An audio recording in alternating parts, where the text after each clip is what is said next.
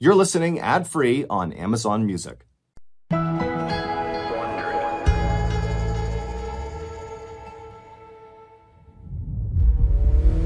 In October of 1961, a young mother hit the gas as she tore down a dusty road in Fresno, California. She gripped the steering wheel so hard that her knuckles turned white. She glanced into the rearview mirror at her eight year old son in the back seat. His skin looked gray and sweat was dripping down his face. His chest rose and fell quickly as he struggled to catch his breath. Suddenly, his eyes rolled back in his head and his entire body went limp. The woman floored the accelerator, they were still several miles from the doctor's office, and her little guy was getting sicker by the minute. She urged him to please hang on as she raced down the road, desperate to get him help before it was too late. This episode is called Dead Tired.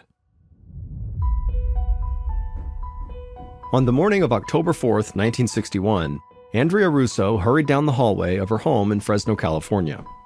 She rounded the corner into her eight year old son Tommy's room, and there was Tommy on the floor surrounded by toys. As Andrea expected, her son had not gotten dressed for school yet. Andrea couldn't help but smile, but at the same time, they were running late and there was no time to play right now. So she grabbed some clothes from his dresser and then dropped down onto the floor next to him. She slipped his favorite red and white striped t shirt over his head and then unfolded a new pair of blue jeans for him to step into. Then she handed him some sneakers and said, Put those on. Andrea jumped to her feet and ran back to the kitchen. There, she grabbed two slices of bread and stuck them in the toaster, and when the toast popped back up, Andrea put the slices on a plate and sprinkled them with cinnamon and sugar, her son's favorite breakfast. With her son's breakfast in one hand, Andrea grabbed Tommy and led him out to the car, his shoes still untied. She helped her son climb into the back seat and then handed him his toast. As Andrea drove her son to school, she passed by huge fields of lush farmland where tomatoes, barley, and almonds were growing. She saw a small helicopter hovering over one farm, raining clear liquid down onto the crops below.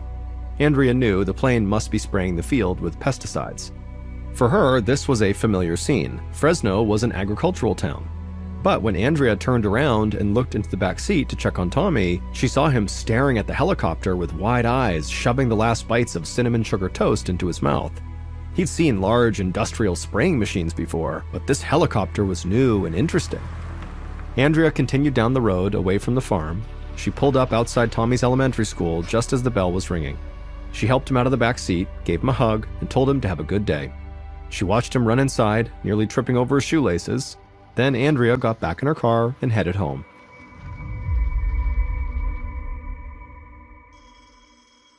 A few hours later, Andrea was in the laundry room folding Tommy's clothes when the telephone rang. She ran to the living room and picked up the call, and it was Tommy's teacher. The teacher sounded very concerned. She said that something seemed very off about Tommy. Normally, he was always smiling and paying attention in class, but today he'd been acting totally lethargic all morning.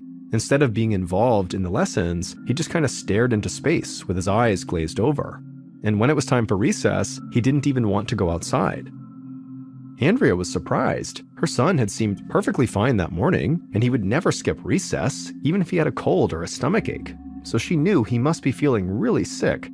She told the teacher she'd be there to pick him up soon. Andrea hung up the phone, grabbed her keys, and drove straight to the elementary school. As soon as she pulled up to the curb, she saw Tommy trudge out the front door. He dragged his feet with each step. He hadn't even bothered to put his backpack onto his shoulders. He just pulled it on the ground right behind him. When Tommy made it to the car, he crawled into the back seat and closed his eyes without saying a word. Andrea asked if he was okay, but all Tommy did was shake his head no. Andrea had never seen her son like this before. Andrea worried that Tommy was more than just tired, so she called Tommy's pediatrician as soon as she got home. Luckily, the doctor could see them right away. At the pediatrician's office, a receptionist led them into an examination room and said the pediatrician would be there soon. Andrea helped her son up onto an exam table covered with a thin sheet of paper. She held his shoulders and looked into his eyes. They were glassy and unfocused. As soon as she let go of his shoulders, he laid down sideways on the exam table and shut his eyes. Andrea didn't know if she should wake him up or let him rest, but before she could decide, the doctor knocked softly on the door and then came into the room. The doctor was an older man with dark hair, the same pediatrician Tommy had had since he was a baby. Andrea was relieved to see a familiar face. She told the doctor about her son's sudden exhaustion that day and how his teachers were very concerned about him. Then she gently shook Tommy's shoulder, and gradually he sat up. The pediatrician gave Tommy a quick examination. He checked the eight year old's pulse, his blood pressure, and temperature. He looked down the boy's throat and shined a light in his eyes. Then he turned to Andrea and said that all of Tommy's vital signs seemed normal. He didn't think there was anything to worry about. Tommy was probably just tired, so she should take him home and let him rest. Andrea hesitated. Tommy had never acted like this when he was just tired, so she had a nagging suspicion that something else might be going on here. But at the same time, she wanted to believe this doctor, so she ultimately just followed his advice. Andrea brought Tommy back out to the car and drove home. About 20 minutes later, she pulled into their driveway and walked around the car to help her son out of the back seat. However, when she opened the back door of the car, Tommy didn't even open his eyes. Andrea asked Tommy if he was okay, but he seemed confused, like he could barely form a thought. He was even more out of it than he had been earlier. Very concerned, Andrea got into the front seat and sped right back to the doctor's office. She parked her car, grabbed Tommy out of the back seat, and carried him inside. It had been less than an hour since they'd left, and the receptionist looked confused to see them again. But Andrea told her that they needed to see the doctor again right now. This was an emergency. The receptionist nodded and ran to get the doctor. But then suddenly, Tommy blurted out that he had to use the bathroom, and he got up and ran to the restroom so quickly that Andrea couldn't keep up. Tommy flung open the door and slammed it shut. From outside in the hall, Andrea could hear her son retching. Tommy vomited, and then he had diarrhea. When he came out of the bathroom, he looked absolutely miserable. By this point, the doctor had come out into the waiting area. He and Andrea helped Tommy walk to the exam room, and as soon as they got inside, Tommy collapsed onto the table, barely conscious. The doctor's eyes went wide. He raced over to Tommy and checked his vitals again. Then he turned to Andrea and told her Tommy's heart rate was extremely high. She asked him what was wrong, and he just shook his head. He had never seen anything like this before. But the doctor did say he knew someone who might be able to help. His name was Dr. John Conrad, and he was the leading pediatrician in the Fresno area, and he specialized in pediatric allergies. If anyone could identify what was causing Tommy's rapid decline, it was him. The doctor rushed out of the room to call Dr. Conrad, leaving Andrea alone with Tommy. Andrea felt so helpless. Her son was becoming desperately ill, and she couldn't do anything except watch as his eyelids fluttered and he struggled to breathe.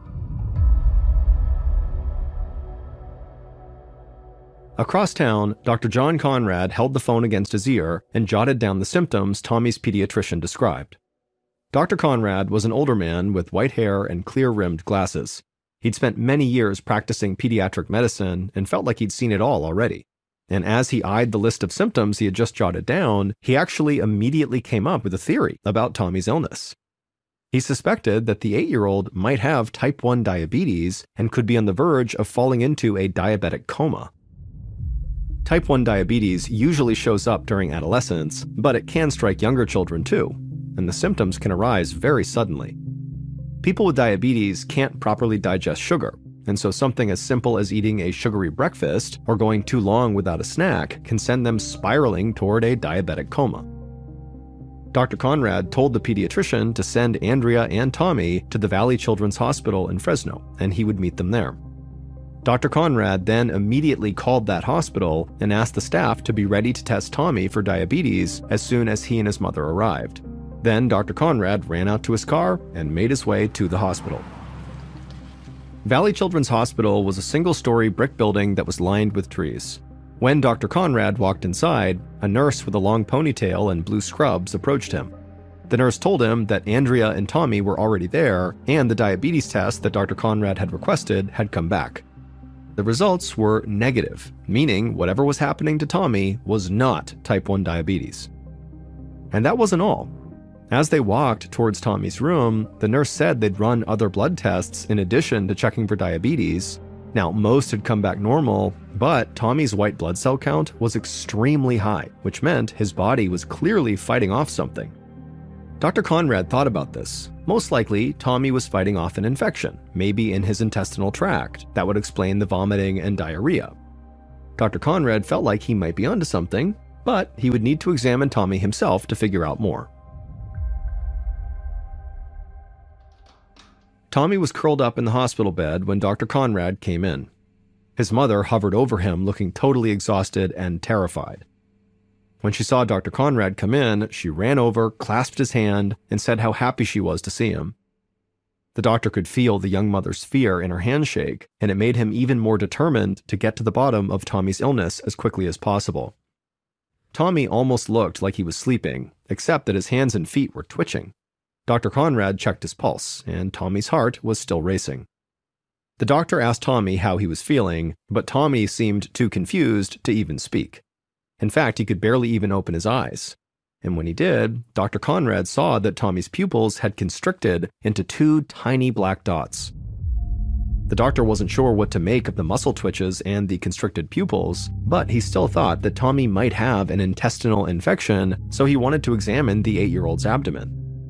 Dr. Conrad moved the blankets out of the way and very lightly pressed on the boy's belly, and immediately Tommy screamed in agony. The doctor pulled his hand away reflexively. The severity of Tommy's reaction really surprised him, but it also made an intestinal infection seem much more likely. Dr. Conrad wondered if maybe Tommy had consumed a relatively common bacteria called Shigella that often spreads in places like elementary schools. Thinking this could be the answer, Dr. Conrad asked hospital staff to run a test for Shigella because as soon as they got confirmation that that was what it was, they could begin treating Tommy. But two hours later, Dr. Conrad sat in the hallway outside of Tommy's room and read over the test results. Tommy had tested negative for Shigella infection. Dr. Conrad shook his head as he reviewed Tommy's symptoms. The boy was pale and feverish, with extremely small pupils. His heart rate was abnormally high, his muscles were twitching, and his white blood cell count was elevated. The boy was experiencing confusion and extreme stomach pain. He seemed to be floating in and out of consciousness. Dr. Conrad put all these details together, and then he had a deeply unsettling thought. What if this boy has been poisoned? Dr. Conrad took a deep breath. Tommy's symptoms actually reminded him of a patient he'd once treated, a farmer who'd come down with sudden exhaustion, muscle twitches, and vomiting. That sounded a lot like what Tommy was going through. It turned out the farmer had been poisoned by the organic phosphates in the pesticides he applied to his crops he had accidentally inhaled some of the chemicals in the process. Dr. Conrad wondered if maybe something similar could have happened to Tommy. Fresno was, after all, an agricultural community, so it was possible that the eight year old could have, in theory, inhaled pesticide by accident. Even a tiny amount would be enough to cause extreme symptoms within just a few hours. Dr. Conrad realized that he needed to act fast. Organic phosphates were powerful poisons, if he didn't give Tommy an antidote quickly, this little boy could die. Five minutes later, Dr. Conrad rushed back into Tommy's room carrying a syringe that contained a medicine called atropine. The doctor carefully injected this drug into Tommy's arm as the boy lay completely still, except for the twitching in his hands and feet. It was the same medication that Dr. Conrad had used with that farmer, and he prayed this would work for Tommy too. While they monitored the boy's condition, Dr. Conrad asked hospital staff to run a blood test for organic phosphate poisoning. A few hours later, around 8:30 p.m., the results of that test came back. Dr. Conrad's hunch was correct. Tommy was suffering from organic phosphate poisoning. The doctor broke the news to Tommy's mother. He was still wondering where exactly the poison had come from, so he asked Andrea if she'd taken her son around any of the local farms recently. Andrea thought for a moment. She said she always drove by some fields while taking Tommy to school. That very morning, they'd passed a helicopter that was spraying a farm with pesticides, but she and Tommy had been inside the car with all the windows up. She told Dr. Conrad that she didn't understand how that could have made Tommy so sick. The doctor wasn't sure either. Whatever had happened, it seemed like a freak accident. Pesticide poisonings were actually very rare. What mattered was that Dr. Conrad had acted quickly and the atropine worked perfectly. By 10 p.m., Tommy was sitting up in his hospital bed. His color had come back, his muscles had stopped twitching, he was able to have a full conversation with the doctor. Tommy said his stomach pain was gone too, but he still felt really tired. Dr. Conrad told Andrea it would take a few days in the hospital for Tommy to make a full recovery, but her son would be okay. Then he asked her to schedule a follow up appointment with him one week after Tommy was discharged. And then Dr. Conrad said goodnight and headed for home, satisfied that he'd solved the mystery.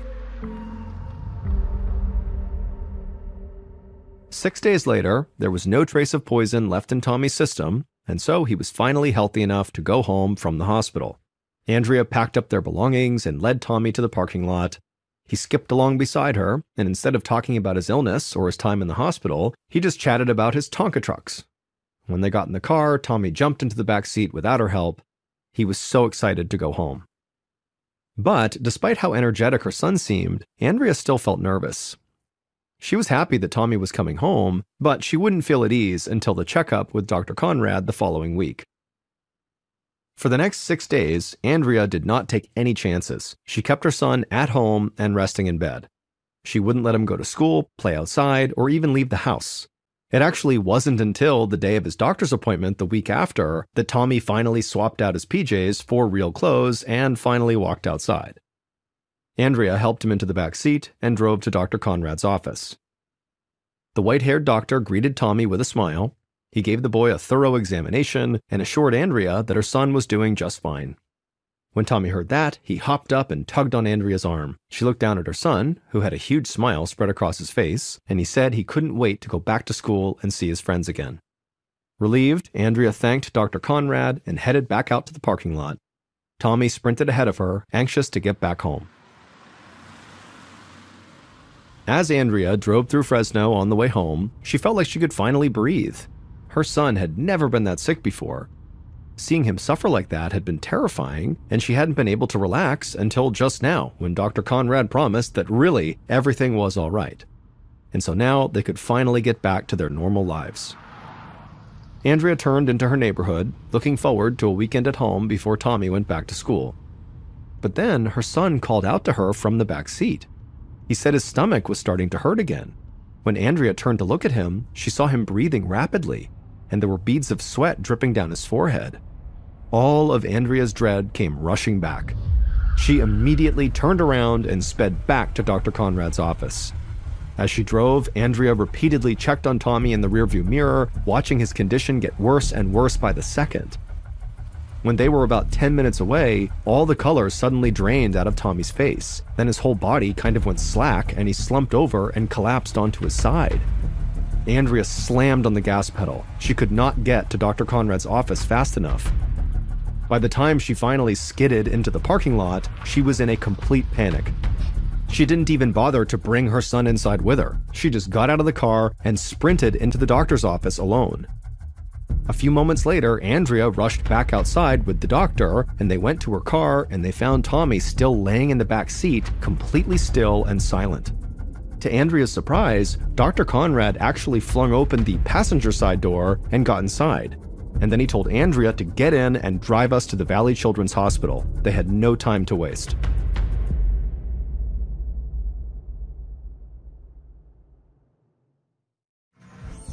Twenty minutes later, Andrea carried her semi conscious son through the sliding doors of the hospital emergency room.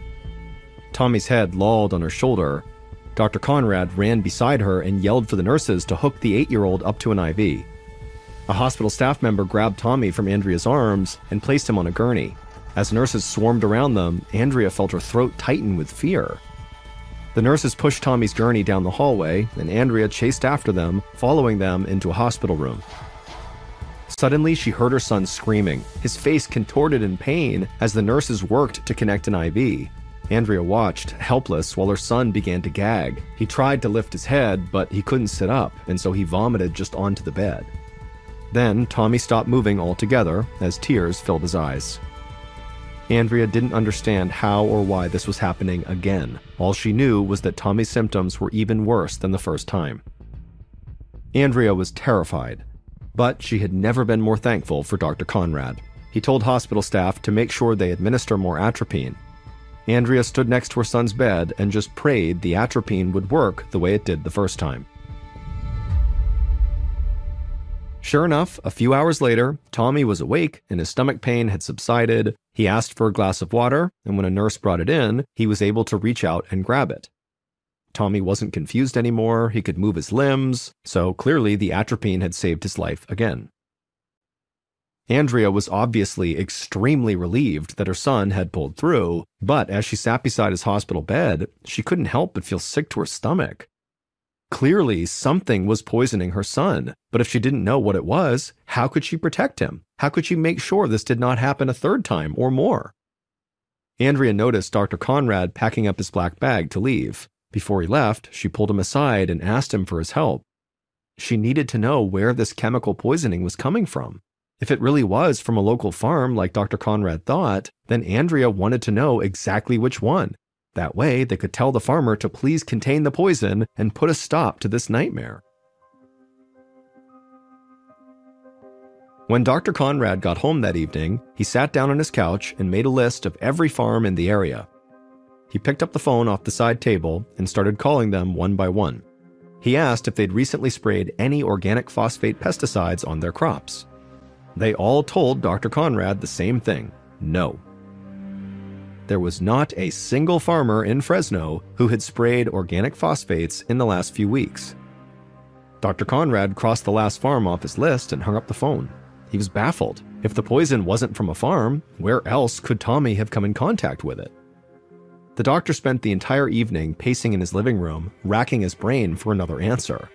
He eventually went to bed, hoping he'd be able to come up with a plausible theory in the morning. But he woke up just as confused. As he crawled out of bed and started a pot of coffee, he had to admit that he needed help.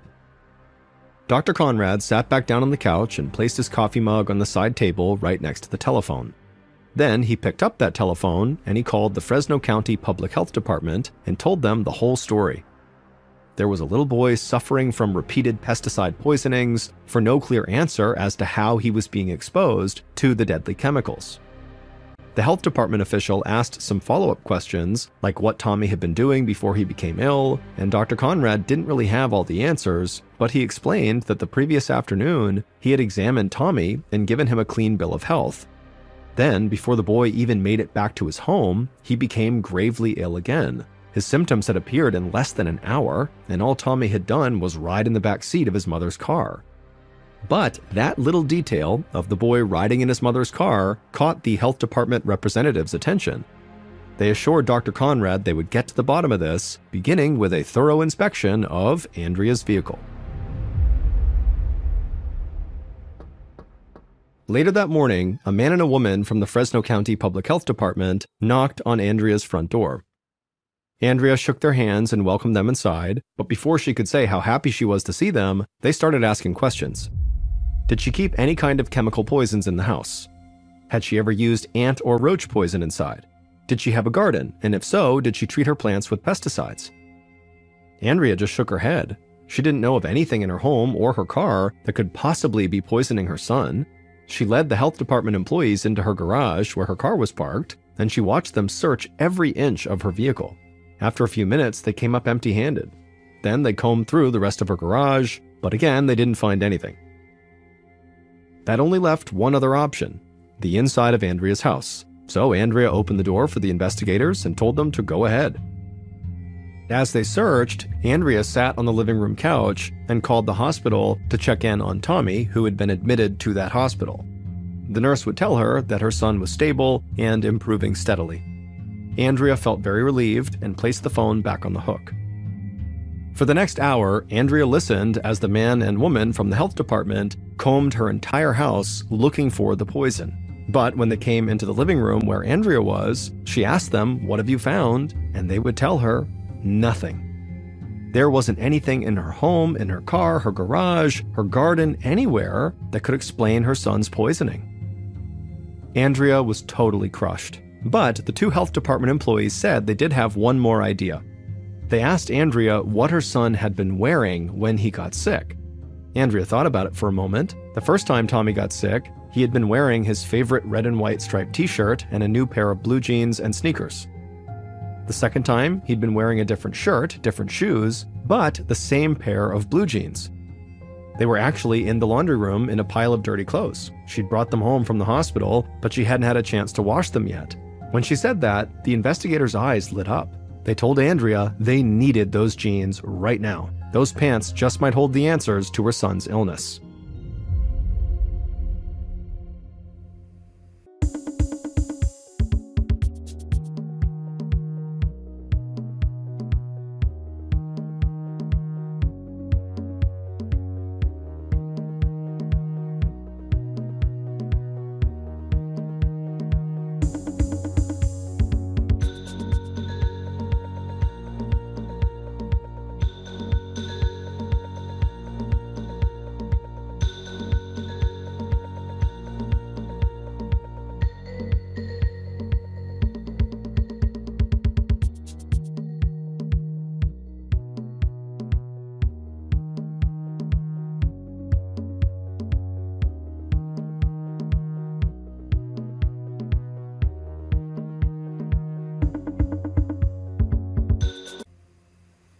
Later that afternoon, Dr. Conrad stood in a white walled lab at the Fresno County Health Department laboratory wearing gloves and a face mask.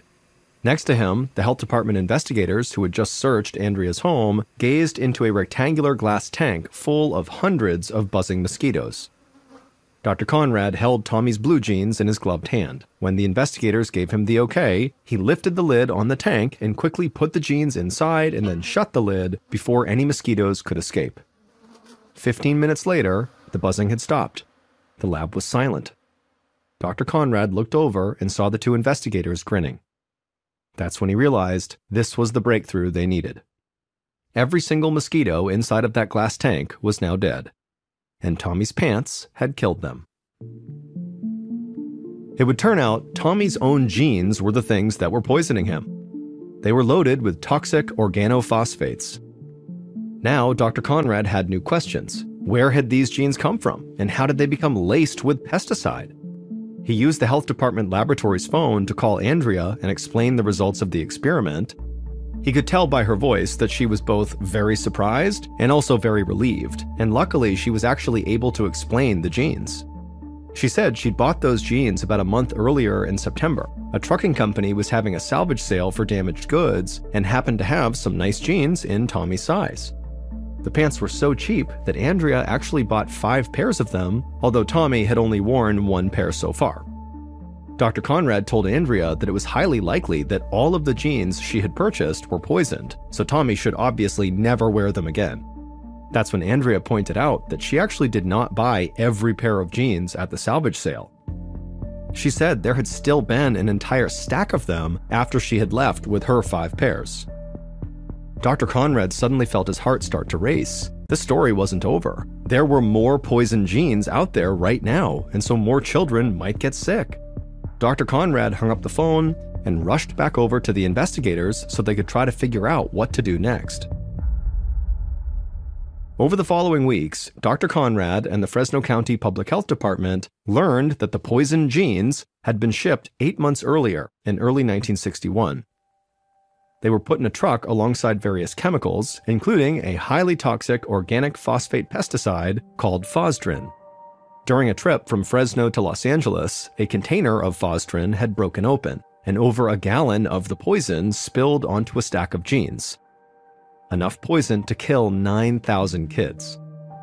When the truck finally got to Los Angeles, an employee brought the jeans to a store where they were supposed to be sold. But the manager of that store had noticed the pants were covered in oily looking stains, so they sent them back to Fresno. The poison jeans were stored in a warehouse for the next eight months until it was time for the trucking company's annual salvage sale. By then, the stains on the jeans had faded enough that customers didn't notice them. When Dr. Conrad and the health department contacted this trucking company, it was too late. The remaining pairs of the poison jeans had all been sold. The health department immediately went out and alerted the public to this crisis. And soon they received 11 more pairs of jeans that had all been bought at the salvage sale so that made 16 pairs, including the jeans Andrea had bought. In total, one other boy was hospitalized from these poisonous jeans, and four other children also fell ill. But luckily, like Tommy, all the children who were affected by these poisonous jeans made full recoveries. One month later, California lawmakers introduced a bill to ban the shipment of dangerous chemicals alongside food or clothing. Tighter legal restrictions and higher industry standards have since made accidents like the one that poisoned Tommy much less common.